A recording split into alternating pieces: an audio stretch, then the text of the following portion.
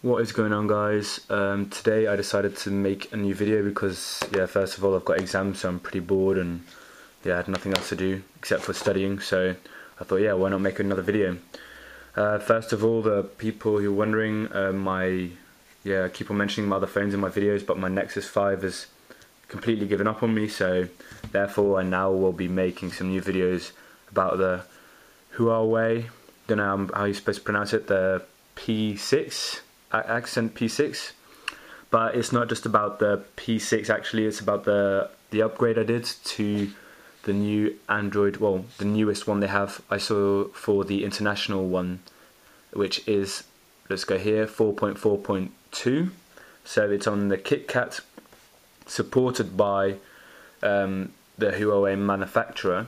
So it's not a ROM or custom ROM or anything it's just a, an, uh, a firm, firmware upgrade uh, the annoying thing is that you have to do it yourself locally by going to your settings. And yeah, there are there are some tutorials already online. If you if you don't completely understand how to do it, I'm I have no problems on putting a tutorial up on how I did it pretty easily. Um, so yeah, basically you have to go to well updates on your 4.2.2 system updates, and instead of doing online, yeah, I'm gonna have to read out for you guys because this this just simply doesn't have a good enough focus it says online update here and it says local update here and you just have to do it through local updates. Probably you're already looking at it now. I'm not whatever I'm not going to make any assumptions but yeah if you are thinking of going to 4.4.2 I'll definitely uh, recommend it and that's exactly why I'm making this video just to show you why.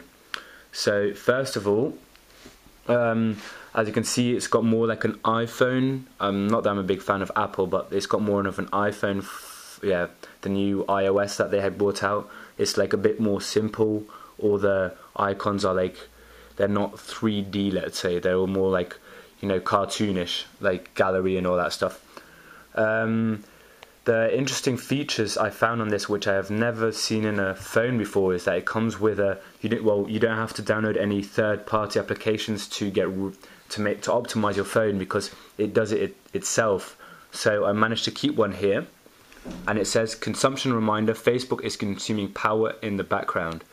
So it says don't remind me anymore or close app. So yeah, I don't I don't like it running in the background, so I just do close app and there we go. Facebook is gone. Uh, on the other hand, we have the which is probably the same in 4.2 uh, Android version. You've got the just the little brush here, which just gets rid of everything, which is really really cool because on my Nexus OS uh, to sweep each one individually if I didn't have a, um, a custom ROM on it. Uh, it also says how much memory is being used, etc., etc. Uh, furthermore, yeah, I did make some adjustments. The there were some more widgets in the beginning. The I don't know what the one is called that comes with it. The really famous one. Uh, let's just have a look at what it's called. Nah, I can't remember. I can't be bothered to look for either. The one with all like the widgets inside the widget, basically. I got rid of that. It didn't look that cool, well, handy to me. I got my calendar and with all the stuff in it here. Not much stuff going on as you can see. Um, yeah, um, going more into detail, the camera's changed as well. Oh, there you can see me. Um, this is just, yeah, this is the house. Um, the camera's changed. It's still kept the really weird. I have no idea what this is, but it's still got the the what is it beauty scale so you can turn up the beauty scale to 10 and make yourself look really weird. I have no yeah, I think it must be something that Asian people not that I'm stereotyping, but Asian people must be loving this because it makes your nose thinner and all that, and it still it makes the picture a bit better. I, I can't show you a direct comparison, but in my opinion, the photos it made on 4.2 were not that good. Um, just trying to think what else. I'm, I'm literally just saying this out of the top of my head, just the the things. Oh yeah, I really like the the transitions, but I think that's in the 4.2 as well. I changed it to like whatever it is, overflow or something like that. Um, it comes with this stock. I haven't changed this yet. It comes with that, and then it just says all your Google apps in one folder, which is pretty handy as well. I won't be changing that. Oh yeah, here, here's one. So it's got the the shortcut bar that is on many custom ROMs as well. So if you sweep from the left, you get notifications. If you sweep from the right, oh crap, you get your yeah shortcuts, whatever it is. So uh, basically, yeah, you can just it, it's got uh, options for everything, and you can always get rid of them. Oh no, you can you can get more. Oh, nice. Uh, learning new things as we speak. So if you press on the arrow, you can get even more, which are Wi-Fi, hotspot, multi-screen, restart, power off, and of course you can always change which ones come first if you go more into detail. Um, sorry again if the the quality of the video is not good enough to follow what I'm doing, but I'm trying to explain my best what I'm doing here. Uh, yeah, of course it's got the brightness that you can change. I don't know if that makes it better. No, it looks like it's gone worse. Just bring that back. Put it, put it here. Um, going into the settings, it's always interesting to look at. Um, it comes with all the the most important ones. It's got oh yeah, here's something really cool, but I don't know if anyone would be using this unless you're 80 years old or you're, you're pretty you're pretty simple or something. I don't know. Oh yeah, the thing's actually even called simple. So you got the home screen style. you've got standard, which I'm on now, and you've got simple. And I'll just show you what it is. It's something very I don't know. Interesting is a good word for it. There, it looks like a the most simple phone you've ever seen. This is all what you get. Oh, you get three slides, nothing, or is it customizable? Oh yeah, you can customize something, so I can get rid of settings. Oh, well, yeah, now I've, I've deleted settings now. So you can add things. Um, it's just basically got everything really simply laid out for you if you don't want to do um, go through all the you know extras that they give you, which is fair. I mean, if you only want to use this phone for messaging, dialing, uh, calling, and looking at the weather, that, then this is probably the option you would want to use. Um, oh, even the settings have changed. That's pretty cool. Um, well, I change it back to normal because I'm not a big fan of it. That if you would want this setting, I would recommend you to just get the old Nokia or something like that. So, um, going more into detail, you've got power saving here, and then it, you can change it. See, that's another third-party app you've saved. So you've got Smart, which says automatically adjust the CPU and network usage for balanced performance. You can have on normal.